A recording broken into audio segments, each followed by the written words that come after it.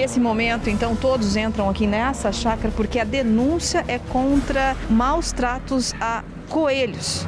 Então, nesse momento, como eu disse, o pessoal vai entrar, vai averiguar para ver quais são as condições desses animais.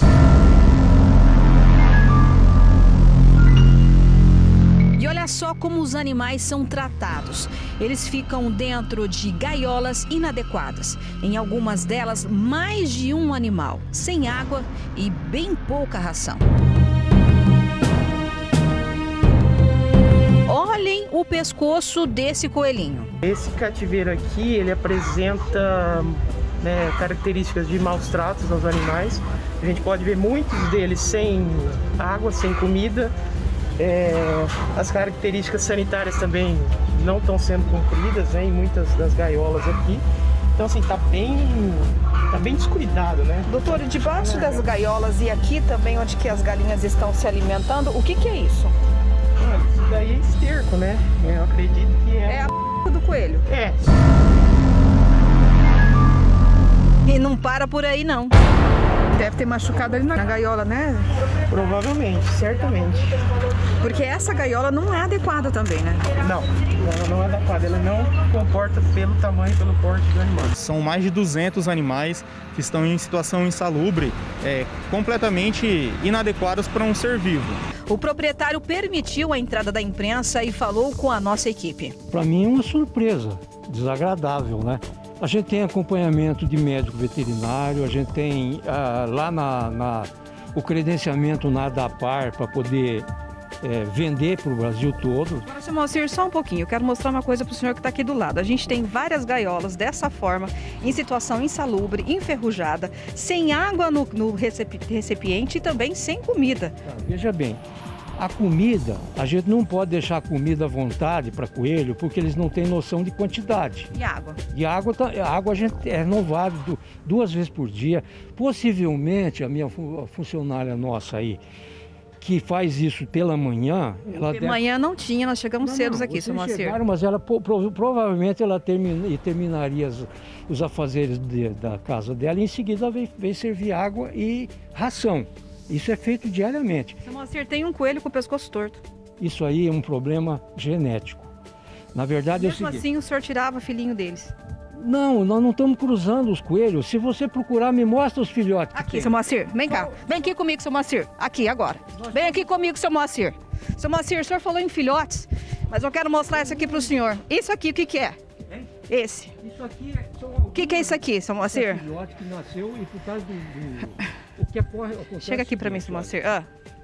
Tá aqui, Nós tivemos uma, um período agora de muito frio. Não então tem isso... mais, então? Só esse? Não, se, tem uma ninhada, Tem mais aqui, seu Moacir. Mais aqui, aqui ó. Eu não vou mostrar na TV, seu Moacir, que tá muito feio. Estão tudo morto. Ó, esses São mais de 10 coelhinhos, ó, seu Moacir. Esses coelhinhos que tem aqui são coelhinhos que eu, é, eu faço doação para amigos, para criança de amigos. Porque eu não estou tendo condição de vender. Entendeu?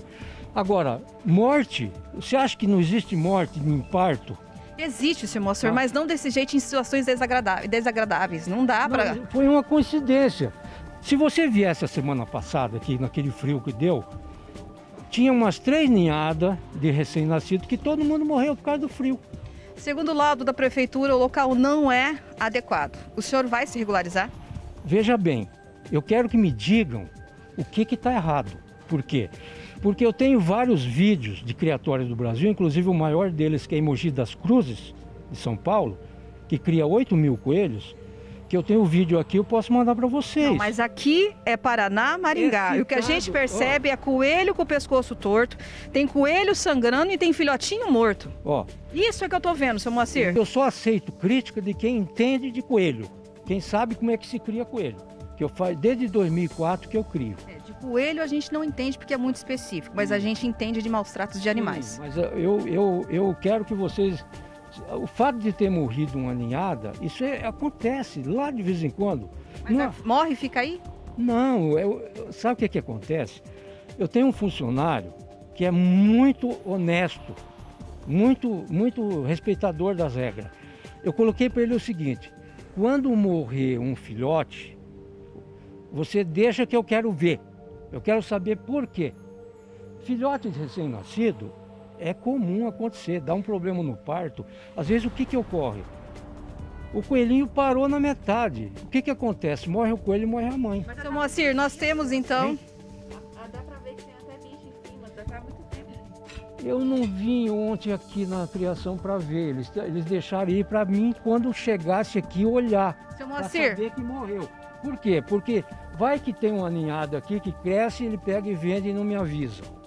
Então, mas ele é de confiança, o senhor acabou de falar. não, mas ele é um cara tão cuidadoso que ele quer que eu veja. Tá certo, seu Moacir, nós temos um acordo. Assim que o senhor se regularizar, nós vamos voltar, voltar aqui e mostrar como estão os animais, correto? Não tem problema nenhum. O que tiver errado, se tiver alguma coisa errada, que me apontem, a gente corrige.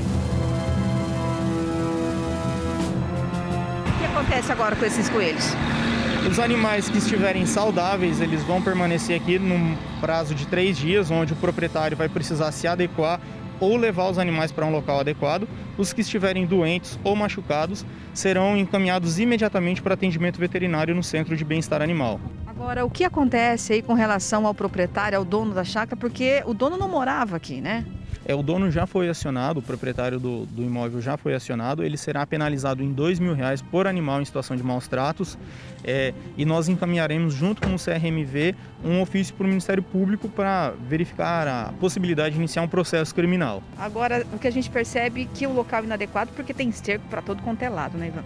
Exatamente. Além do local do- onde eles estão não serem adequados, a sanitariedade do espaço aqui é extremamente precária. Por isso que nós sempre indicamos que as pessoas adotem animais, porque não incentiva esse tipo de, de prática. Agora, essa situação foi através de denúncia anônima. Exatamente. Foi feita uma denúncia no Conselho Regional de Medicina Veterinária. é, e as pessoas podem tanto procurar os órgãos competentes como procurar a prefeitura via 156. É, nós temos uma equipe multidisciplinar que está pronta para atender qualquer tipo de situação.